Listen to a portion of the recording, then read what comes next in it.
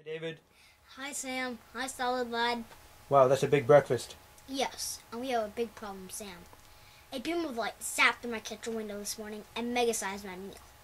And the same thing is happening to food all over the city. Great job, guys. Now my breakfast is big enough to help me grow and give me energy. But not so big that it'll slow me down and make me lazy. Hey, speaking of big, where's Sam? I'm fixing the Mega shrinker beam so I can shrink him back to normal. Oh, when's it going to be ready? Hi, uh, where are you guys? Where's Sam Sound Solid Lad? Those dudes split the scene with Sammy Starcrust and Kid Broccoli. What can we do for you, bro? Sorry, Mr. Starcrust, but... Wait a minute, Sam, is that you? Hee we fooled you, David. We're trying our disguises.